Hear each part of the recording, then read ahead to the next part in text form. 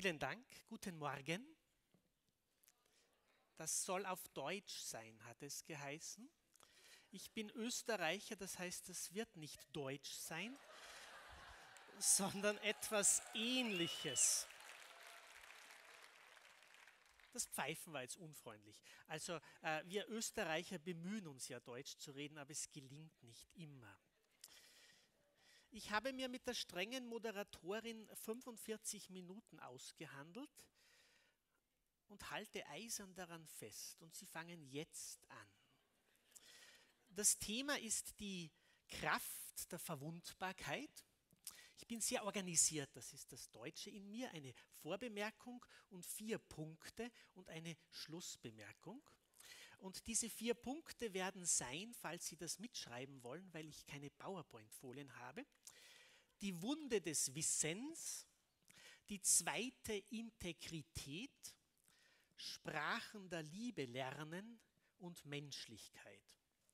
Wunde des Wissens, zweite Integrität, Sprachen der Liebe lernen und Menschlichkeit. Meine Vorbemerkung ist folgende. Sie alle kennen Asterix und Sie alle kennen den Band Asterix und die Normannen. Ja, wenn nicht, schade. Die Normannen sind ein mutiges Volk, das keine Angst kennt. Und in diesem Band Asterix und die Normannen wollen die Normannen die Angst kennenlernen, weil sie glauben, dass die Angst Flügel verleiht. Hier ist eine tiefe Einsicht und ein tiefer Fehler auf Seiten der Normannen zu bemerken. Die tiefe Einsicht lautet, wer sich unverwundbar wähnt, dem geht etwas ab, dem fehlt etwas der hat eine Gabe nicht, die andere, die um ihre Verwundbarkeit wissen, haben. Der Fehler ist zu glauben, dass Angst Flügel verleiht und etwas Wünschenswertes ist. Natürlich verleiht Angst in dem Sinne Flügel, dass du davonläufst, aber nicht im Sinne, dass du mehr Lebenskraft bekommst. Und das, worüber ich mit Ihnen nachdenken möchte, ist die Idee, Verwundbarkeit ist eine Gabe, die dann zur Würde des Menschen beiträgt, wenn sie nicht von der Angst niedergeschlagen wird. Meine erste Bemerkung, die Wunde des Wissens. Es gibt ein sehr berührendes Buch des österreichischen Schriftstellers Arno Geiger, Der alte König in seinem Exil. In diesem Buch beschreibt Arno Geiger in einer sehr behutsamen Sprache seinen dementkranken Vater. Sein Vater ist an Demenz erkrankt und Arno Geiger beschreibt sehr behutsam und vorsichtig seinen Vater und seine Beziehung zu seinem Vater. Und er beschreibt, wie sein Vater sich mehr und mehr verloren fühlt in dieser Welt und er beschreibt, wie sein Vater selbst sagt, ich kenne mich nicht mehr aus. Und er beschreibt, wie sein Vater mehr und mehr verwirrt wird und mehr und mehr angewiesen ist auf Hilfe und Unterstützung. Und ich habe dieses Buch gelesen, wie viele andere auch, und mir Folgendes gedacht. Wenn ich jetzt schon weiß, dass ich der einst einem letzten Lebensabschnitt entgegengehe, der so aussieht. Du bist dement, du bist angewiesen, du fühlst dich nicht mehr zu Hause, du weißt so viel über deine Verwundbarkeit, dass du schon gar nicht mehr weißt, wo du eigentlich noch funktionierst. Wenn ich das jetzt schon weiß, wie würde ich mein Leben jetzt leben? Wenn ich jetzt weiß, und ich nenne das Wunde des Wissens, dass ich der einst in diesem Zustand sein werde, was würde das für mich jetzt bedeuten? Und wie Herr Bischof vorher angedeutet hat, das sind nicht nur Worte, das macht etwas mit dir, wenn du dieses Wissen einsickern lässt. The wound of knowledge, Wunde des Wissens, war das erste Buch des jüngst zurückgetretenen Erzbischofs von Canterbury, Rowan Williams. Das ist ein Wissen, das dir eine Wunde schlägt und dieses Wissen lässt dich Zeit deines Lebens als verwundeter Mensch durchs Leben gehen. Diese Verwundbarkeit hat zumindest vier Dimensionen. Ich bin Philosoph und habe das gerne, Unterscheidungen. Nicht alle haben das gerne, es ist ein bisschen langweilig auch, aber vier darf ich Ihnen zumuten. Verwundbarkeit heißt erstens die Fähigkeit, verletzt zu werden. Oder auf Neudeutsch, the capacity to be wounded. Die Fähigkeit, verletzt zu werden, zu wissen, wie Monika auch schon gesagt hat, dass man dir wehtun kann. Erstens. Zweitens heißt Verwundbarkeit auch, dass die Welt kontingent ist. Kontingent heißt für uns Philosophen, es ist möglich, aber nicht notwendig. Es könnte auch anders sein. Wir haben hier einen schönen Vortragssaal, das ist kontingent. Es könnte auch anders sein. Wir haben wunderbare Übersetzer und Übersetzerinnen. Es ist kontingent, dass sie hier sind, dass das Flugzeug gestartet ist. Es könnte auch anders sein.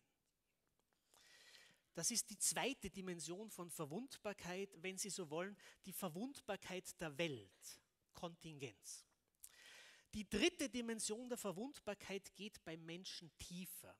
Es ist nicht nur die Einsicht, dass ich verletzt werden kann, es ist die Einsicht in die Fragilität meines Daseins überhaupt. Mein Leben kann sich von einem Augenblick auf den anderen radikal verändern durch eine Krankheitsdiagnose, durch einen Unfall, durch den Verlust eines Angehörigen, durch den Entschluss des Ehepartners, dich äh, übrigens, ich verlasse dich jetzt. Das ist, das ist ein Wissen, das tiefer geht, als ich kann mich in den Finger schneiden. Es ist die Einsicht, dass mir der Boden unter den Füßen weggezogen werden kann. Einsicht in die Zerbrechlichkeit unseres menschlichen Daseins. Das gilt für alle.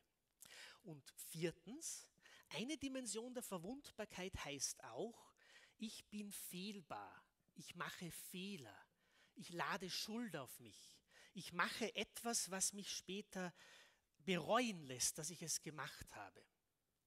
Und wenn man sich Arno Geigers Buch ansieht und über die Wunde des Wissens nachdenkt, dann wird man diese vier Dimensionen auch sehr schön erkennen können.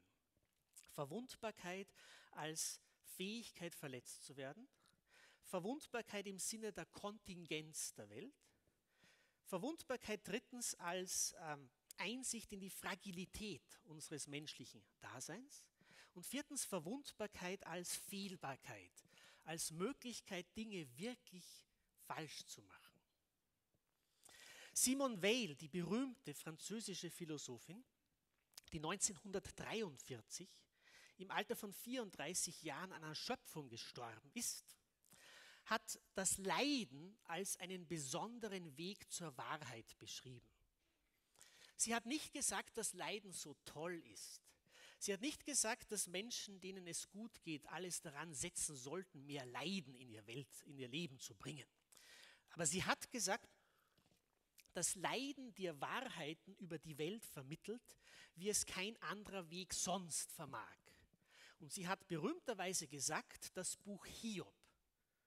Kennen Sie das Buch Hiob noch? Nicht? Ich verkehre manchmal in Kreisen, wo die, die religiösen Restbestände schon sehr diffus geworden sind. Also das Buch Hiob, das kann man immer noch unter Allgemeinbildung abheften. Ja? So schämen Sie sich, wenn Sie das nicht kennen. Ähm, aber es ist auch eine Form der Verwundbarkeit eines anderen umzugehen. Also Simon Weil hat gesagt, das Buch Hiob wurde unter großen Schmerzen geschrieben und muss auch unter großen Schmerzen gelesen werden. Du verstehst das Buch Hiob nicht, wenn du nicht selbst leidest, sonst siehst du es als nettes akademisches Buch, das es nie war. Leiden als besonderer Weg, als besonderer Weg zu dieser Wahrheit. Und jetzt gibt es Tendenzen oder Menschen oder Dynamiken, die den Zugang zur eigenen Verwundbarkeit verschütten. Ist hier ein Arzt unter uns oder eine Ärztin? Falls ich hinunterfalle, meine ich. Dann kann ich sie nämlich nicht mehr anrufen. Wissen Sie, was ich meine? Ähm, ich gebe zwei Stichwörter für Dynamiken, die der Einsicht in die eigene Verwundbarkeit entgegenstehen. Erstes Stichwort Assholes. Zweites Stichwort Self-Deception, Selbsttäuschung. Erstes Stichwort Assholes. Ich kann das nicht auf Deutsch übersetzen. Aaron James, ein kalifornischer Philosoph, wo sonst würde ein Philosoph sitzen, der darüber nachdenkt, hat ein Buch geschrieben mit diesem Titel Assholes a Theory. Und in diesem Buch hat sich Aaron James, ein ernstzunehmender Philosoph, überlegt, was ist denn ein Asshole im Unterschied zu einem Psychopathen oder einem mühsamen Menschen und hat eine Theorie entwickelt. Eine Arbeitsdefinition lautet übrigens, an asshole is a person who could tempt the Pope into a fight.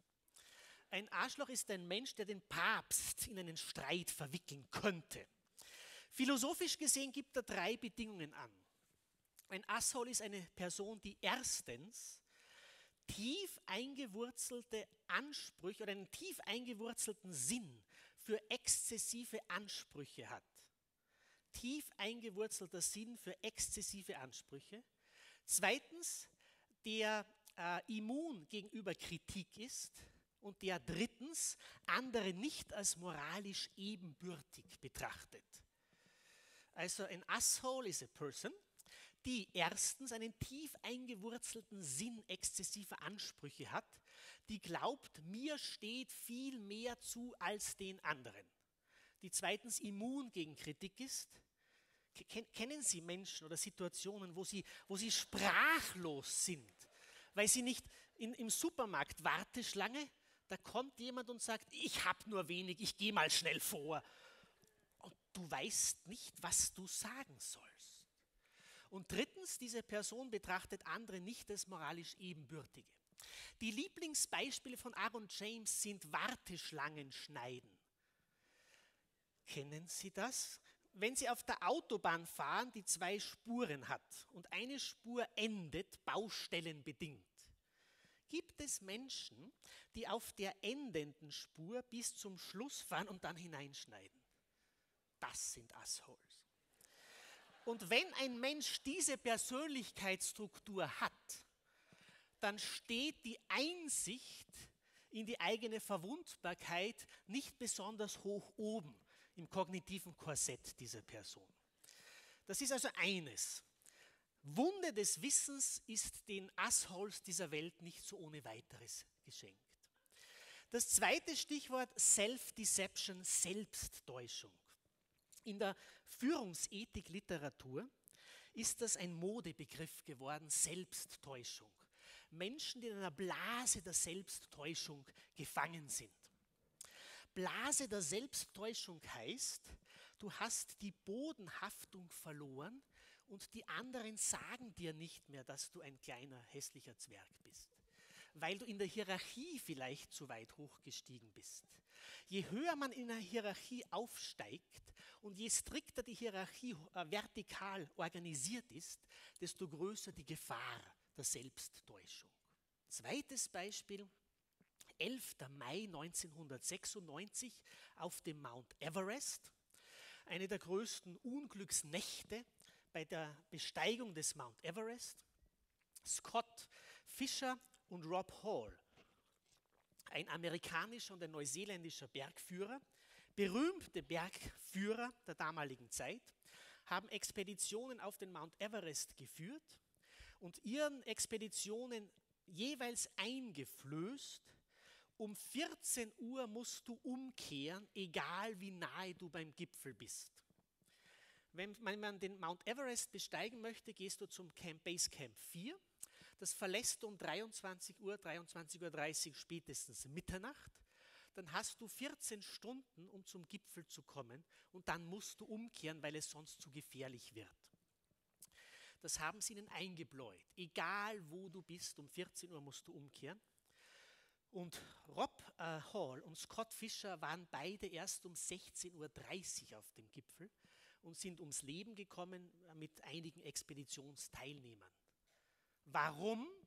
Ein Grund ist Selbsttäuschung, da beide die Einstellung hatten, wenn es irgendwer schafft, um 16.30 Uhr auf dem Gipfel zu sein und heil zurückzukommen, dann bin ich es.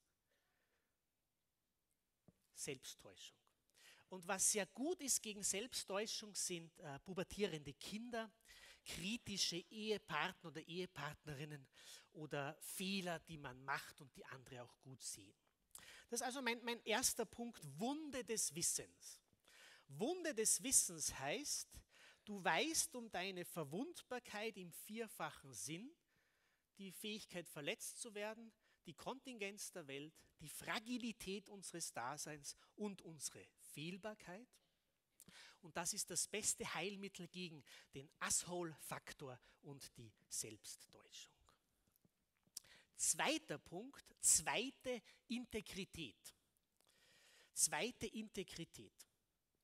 Claude Lanzmann, der berühmte französische Filmemacher, hat einmal gesagt, ich habe ein ernsthaftes Leben geführt.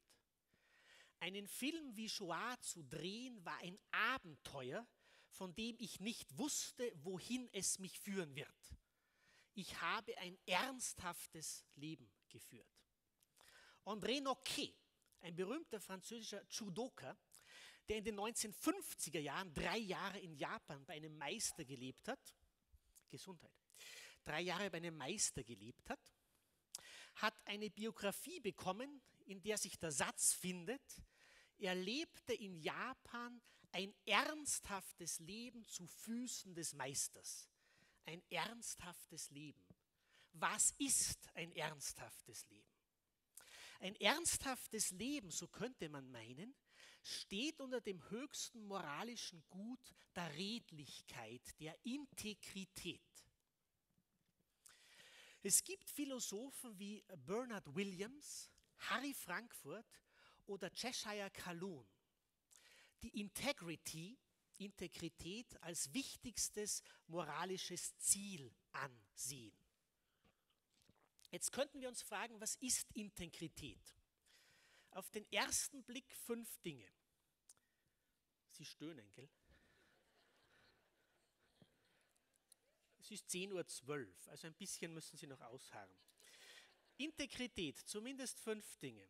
Erstens, Integrität ist die Aufrichtigkeit, eine Position zu haben. Integrität hat mit Aufrichtigkeit zu tun und diese Aufrichtigkeit heißt, du hast eine Position. Zweitens, Integrität hat mit Ernsthaftigkeit zu tun und dem Bemühen, der Anstrengung. Redliche Menschen strengen sich an, sie bemühen sich. Drittens, Integrität hat damit zu tun, dass du das, was dich ausmacht, gut integrieren kannst. Du kannst deine Charakterzüge gut integrieren. Viertens, Integrität hat damit zu tun, dass du deine Verantwortung gegenüber anderen wahrnehmen kannst.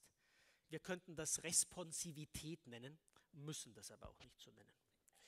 Und fünftens, äh, Integritas im Lateinischen heißt auch Unversehrtheit. Integrität in diesem ersten Sinne heißt also Aufrichtigkeit, Ernsthaftigkeit, Integration dessen, was mich ausmacht, Responsivität und Unversehrtheit.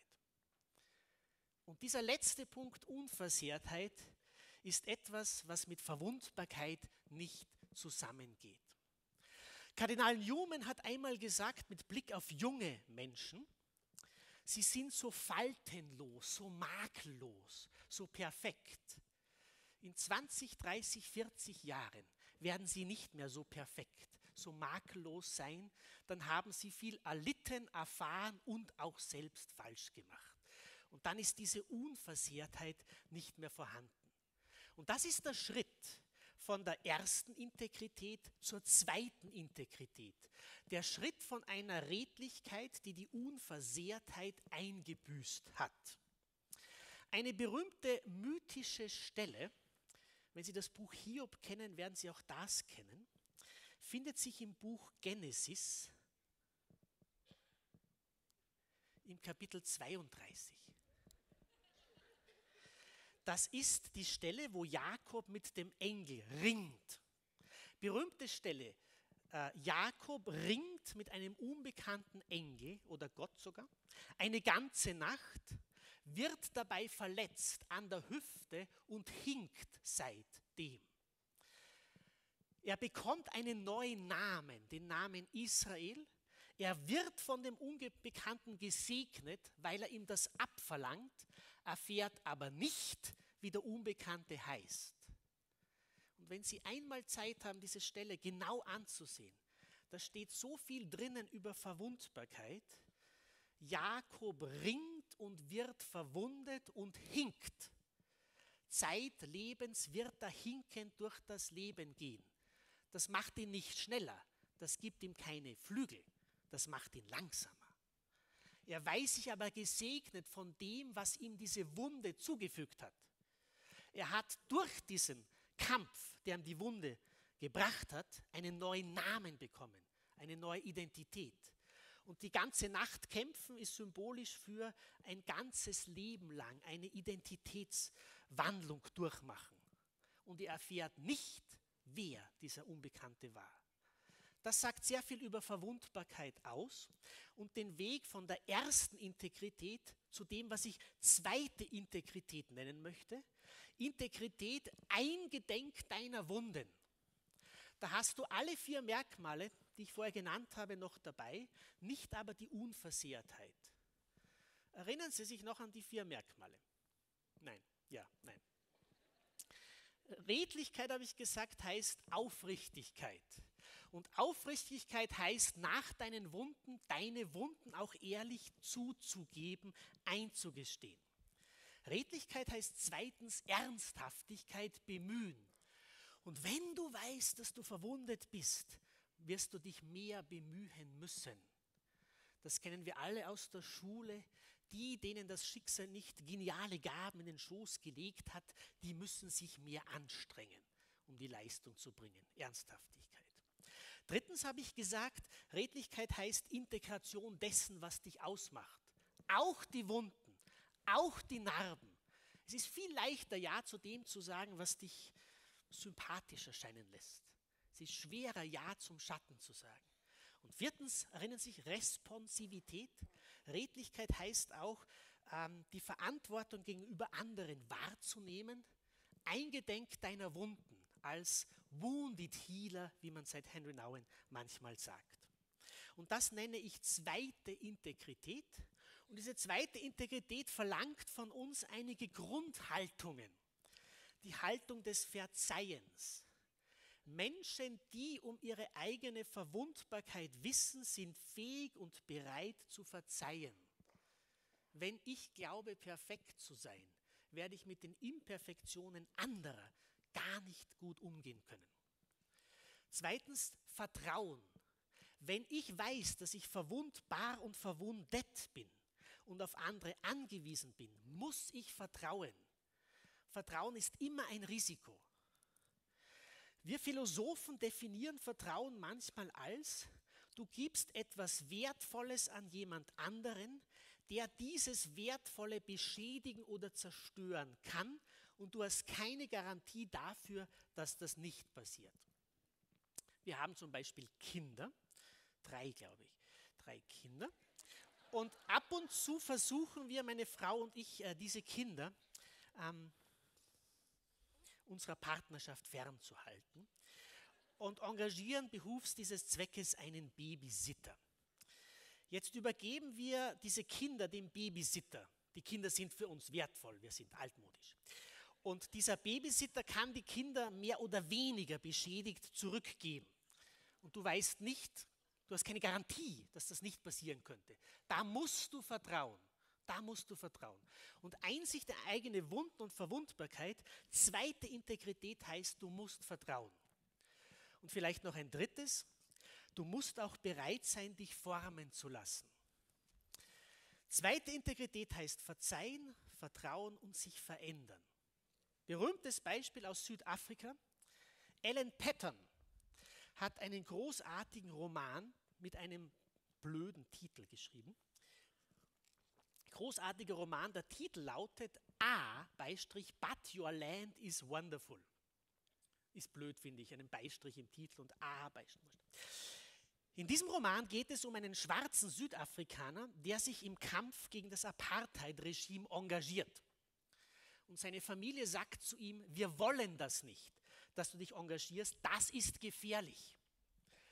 Und dieser schwarze Widerstandskämpfer antwortet seiner Familie, ich muss mich in diesem Kampf engagieren, because otherwise I couldn't face the big question, weil ich sonst der großen Frage nicht ins Auge schauen könnte. Dann sagen sie zu ihm, was meinst du mit der großen Frage? Und er sagt, wenn ich sterbe, dann komme ich zum Big Boss. Und der Big Boss wird mich fragen, und das ist die große Frage, where are your wounds? Wo sind deine Wunden? Und wenn ich sage, was meinst du mit Wunden, wird der Big Boss sagen, wasn't there anything worthwhile fighting for? Gab es denn nichts, wofür es sich gelohnt hätte zu kämpfen? Und das sind Wunden, die sich aus der Redlichkeit eines Menschen ergeben, der weiß, wofür es wert ist, sich mit starker Sorge einzusetzen. Das ist mein zweiter Punkt, zweite Integrität. Das heißt, das ist eine Redlichkeit, die den Weg von der unversehrten Integrität zur versehrten Integrität zurückgelegt hat. Denken Sie an Genesis 32, Jakob ringt mit dem Engel wo du Vertrauen, Verzeihen und Veränderungen zulassen musst. Drittens, wo stehen wir? 10.22 Uhr. Ich habe noch bis 37, ich habe auf die Uhr geschaut, ich habe noch bis 37 Zeit. Mhm. Wunde des Wissens hat geheißen, du bist verwundet vom Wissen, dass du jetzt vielleicht nicht so sehr angewiesen bist, wir sind immer mehr angewiesen, als wir glauben.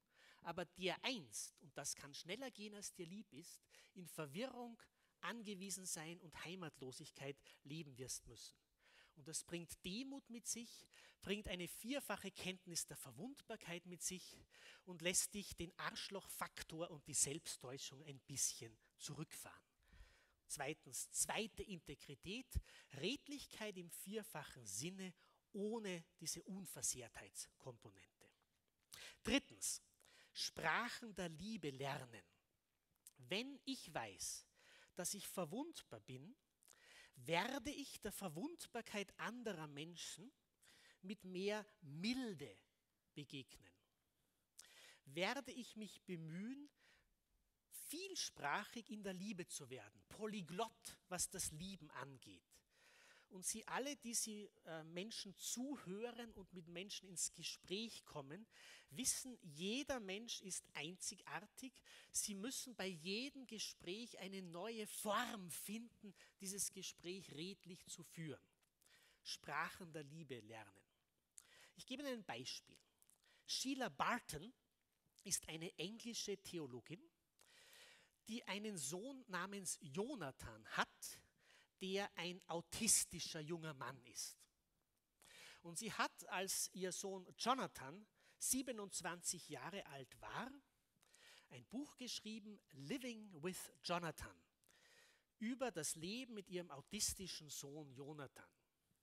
Und sie beschreibt in diesem Buch, ich musste lernen, ihn zu lieben.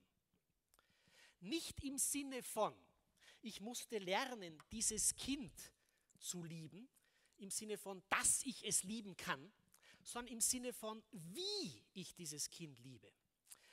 Denn als Jonathan oder wenn Jonathan einen Anfall bekommen hat und drei Stunden lang mit dem Kopf gegen die Wand gestoßen ist, durfte die Mutter das Kind nicht berühren, nicht halten, nicht festhalten, nicht mit ihm reden. Das muss man lernen weil das der erste Impuls von uns wahrscheinlich ist.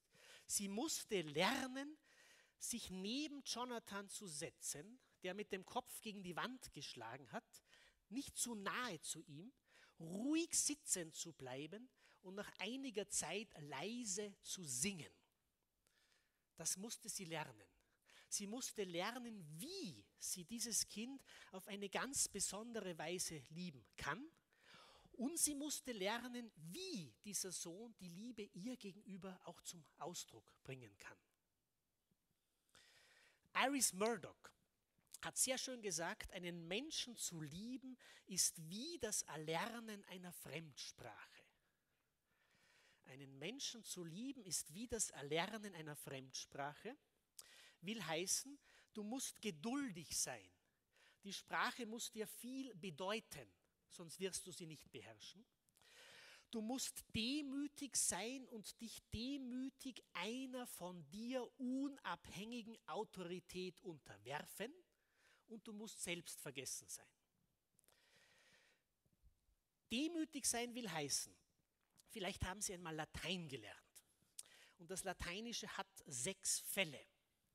Jetzt kann ich nicht sagen, diese sechs Fälle sind mir zu viel, reduzieren wir sie auf vier. So funktioniert das nicht. Du musst demütig anerkennen, so ist die Grammatik im Lateinischen. Und du musst selbst vergessen sein. Wenn du Russisch lernst, so das Beispiel von Iris Murdoch, darfst du dich nicht bei jedem Wort fragen, was macht das jetzt mit mir? Wie fühle ich mich, wenn ich dieses Wort lerne? So wirst du es nie zur Sprachbeherrschung bringen. Einen Menschen zu lieben ist wie das Erlernen einer Fremdsprache. Geduld, demütige Unterwerfung einer von dir unabhängigen Autorität und Selbstvergessenheit. Und das können Sie sehr schön an diesem Beispiel von Sheila Barton sehen. In ihrem Engagement geht es sehr viel darum, vielsprachig in der Liebe zu werden. Janusz Korczak, der berühmte polnische Kinderarzt und Waisenhausleiter im polnischen Ghetto, also im Warschauer Ghetto, hat ein Buch geschrieben, wie man ein Kind lieben soll.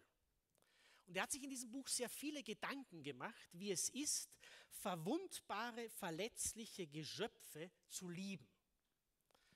Und er hat unter anderem gesagt, man muss mit peinlichen Überraschungen gut umgehen können. Wer mit peinlichen Überraschungen nicht umgehen kann, ist im pädagogischen Bereich nicht gut aufgehoben. Der berühmte Senf an der Türklinke zum Beispiel. Oder wenn dir während des Unterrichts die Hose hinten aufreißt. Sehr unangenehm so etwas. Und es war auch Janusz Korczak, der gesagt hat, das Kind hat ein Recht auf den heutigen Tag. Es hat ein Recht darauf, dass es nicht über die Zukunft definiert wird, sondern als lebendes Wesen heute ernst genommen zu werden und als jedes einzelne unverwechselbare Geschöpf sozusagen für jedes einzelne Kind eine neue Sprache der Liebe lernen. Ich möchte Ihnen hier noch ein Beispiel geben für diese Sprachen der Liebe lernen. Emily Pearl Kingsley hat im Jahr 1987 einen berühmten Text geschrieben. Sie ist eine Kanadierin, Mutter eines Kindes mit Down-Syndrom, Trisomie 21. Und Emily Pearl Kingsley wurde sehr oft gefragt, wie ist es denn, ein Kind mit Down-Syndrom großzuziehen? Und sie hat gesagt, ich kann dir keinen schönen akademischen Traktat anbieten, ich kann dir nur ein Gleichnis erzählen. Dieses Gleichnis, das ich auf Englisch erzählen muss für die Übersetzerinnen, schaut so aus, ungefähr. When you are going to have a baby, it's like planning a fabulous vacation trip to Italy. You buy a bunch of guidebooks, you make your wonderful plans, the Colosseum, Michelangelo, the gondolas of Venice. You may even pick up a few handy phrases in Italian. It is all very exciting. After months of eager anticipation, the day finally arrives. You pack your bags and off you go. Several hours later, the plane lands. The stewardess comes in and says, Welcome to Holland. Holland, you say? What do you mean, Holland? I signed up for Italy. I'm supposed to be in Italy now. But there's been a change to the flight plan. They have taken you to Holland, and there you must stay. now, the important thing to note is that this is not a horrible, disgusting, filthy place full of pestilence, famine, and disease. No, it is just a different place. So you buy a new guidebook, you learn a whole new language, you meet a whole new group of people you would have never met. It's a different place. It's slower paced than Italy. It's less flashy than Italy. But once you have been there for a while, you catch your breath, you look around, and you begin to notice Holland has windmills, and Holland has tulips, and Holland even has Rembrandts. But everyone you know is busy coming and going from Italy. And they are all bragging about the wonderful time they had there. And all your life you will say, That's what I had planned. That's where I was supposed to go. And the pain of this will never, ever go away. Because the loss of this dream is a very, very significant loss. But if you spend your life mourning the fact that you didn't get to Italy, you may never be free to enjoy the very special things, the very lovely things about Holland. Das ist ein Beispiel für, ich muss eine neue Sprache der Liebe lernen,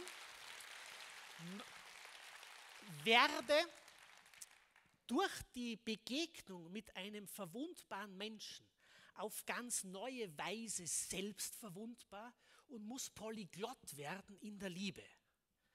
Und polyglott in der Liebe heißt, bereit zu sein, sich durchbrechen zu lassen.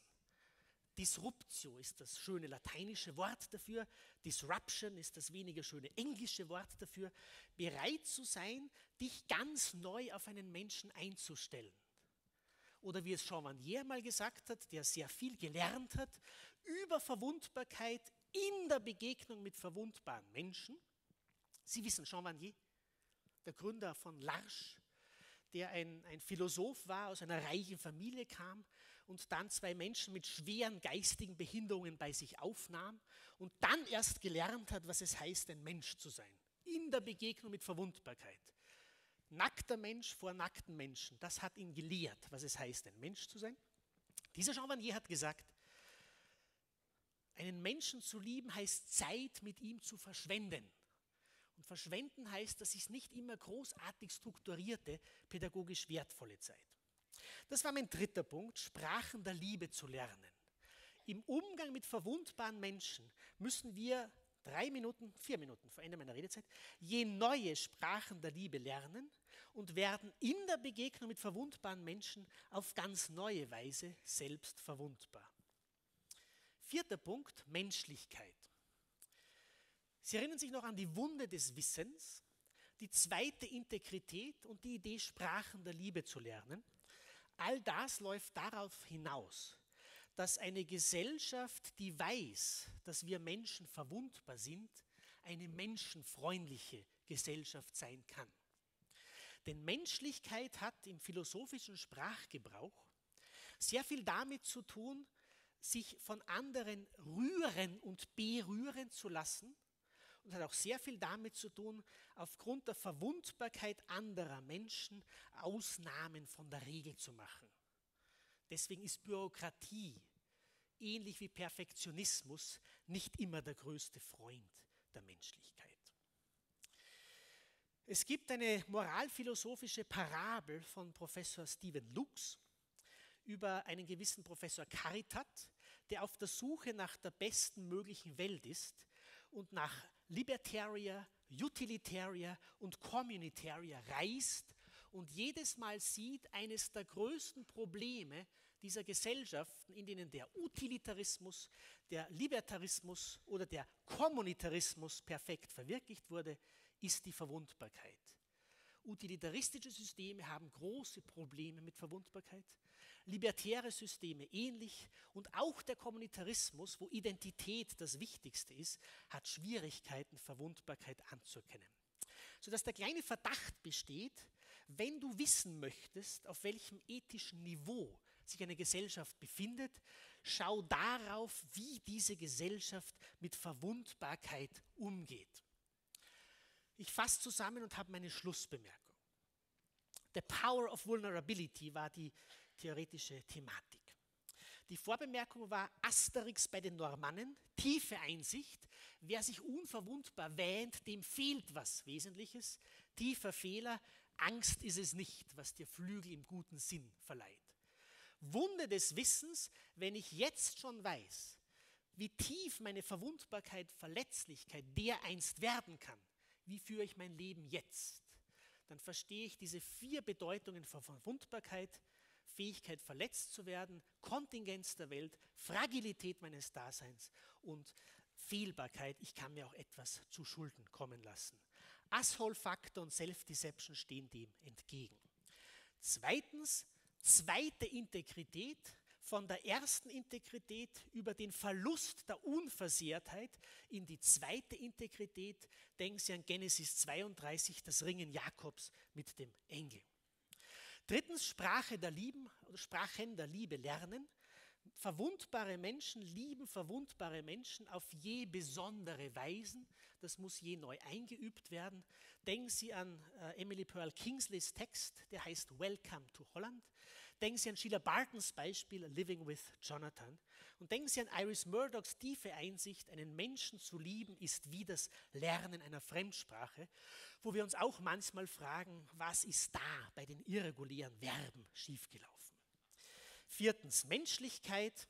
Wir könnten vermuten, dass ein Lackmustest für die ethische Qualität einer Gesellschaft der Umgang mit verwundbaren Mitgliedern ist. Schlussbemerkung. The Power of Vulnerability ist etwas, was wir jedes Jahr zu Weihnachten feiern, wo wir feiern, dass Gott in einem winzigen Babygeschöpf Mensch geworden ist.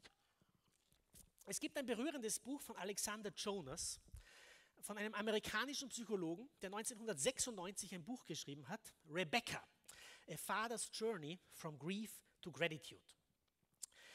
Im Jahr 1992 wurde Rebecca geboren, die Tochter von Alexander Jonas. Rebecca war eine Frühgeburt und nicht lebensfähig, viel zu klein. Sie ist nach drei Stunden und 44 Minuten in den Armen ihres Vaters verstorben. Vier Jahre später schreibt Alexander Jonas dieses Buch. Rebecca, a Father's Journey from Grief to Gratitude, von Trauer zur Dankbarkeit. Und er sagt in diesem Buch, vier Jahre später, er kann nun dankbar für Rebecca sein. Sie war viel zu schwach, um zu leben, ist nicht einmal vier Stunden auf diesem Planeten gewesen, aber hat alle Menschen, die mit ihr Begegnung hatten, die mit ihr Bekanntschaft geschlossen haben, die von ihr erfahren haben, tief verändert.